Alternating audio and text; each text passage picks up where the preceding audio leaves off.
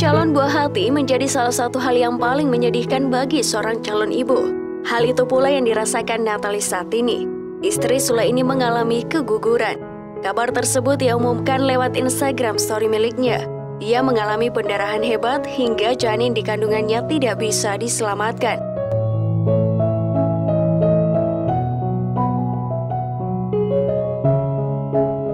Baru beberapa waktu lalu, Sule dan Natalie menjalani USG untuk buah hati mereka.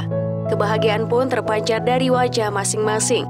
Bahkan Sule seolah tidak percaya bercampur haru, mengetahui dirinya akan segera memiliki keturunan lagi. Sule beberapa kali melihat hasil USG untuk memastikan kehamilan sang istri. Sayangnya, baru-baru ini Natalie mengabarkan hal yang kurang menyenangkan. Lewat Instagram story miliknya, Natalie berusaha berbesar hati, menerima kenyataan jika dirinya mengalami keguguran pasca pendarahan hebat. Janin yang dikandungannya pun tidak terselamatkan. Yang membuatnya semakin sedih adalah Natalie benar-benar takut membuat suaminya kecewa. Pasalnya, Sule dan Natalie benar-benar menantikan kehadiran buah hati. Tentu bukan hal yang mudah bagi Natalie. Terlebih kehamilannya ini merupakan anak pertama bagi Natalie. Namun ia memilih berlapang dada menerima yang sudah ditakdirkan dan tetap bersemangat menjalani kehidupan.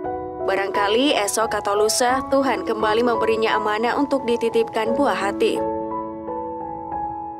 Jadi dari hasil USG aku positif dan kemarin tiba-tiba pendarahan. Tapi nggak apa-apa, aku tetap semangat. Natalie membeberkan jika Tuhan tentulah memiliki alasan untuk belum mengizinkannya memiliki anak. Ia bahkan menyebut jika saat ini dirinya mungkin harus fokus dulu mengurus keempat anak sambungnya juga suaminya tercinta. Tapi memang mungkin Allah sayang sama aku. Aku harus mengurus dulu semua anak-anak aku yang paling aku sayang dan suamiku tercinta. Tulis Natalie menyemangati dirinya. Anak-anak mereka mau bikin bundanya happy. Nampaknya Natalie mendapat suntikan semangat dari anak-anak dan suaminya.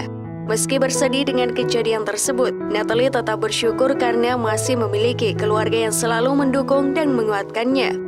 Natalie kemudian menyampaikan terima kasih kepada keempat buah hatinya, juga suaminya karena terus memberikan dukungan untuknya.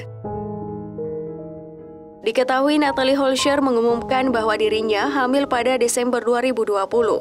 Ia positif hamil setelah selang sebulan menikah dengan Sule.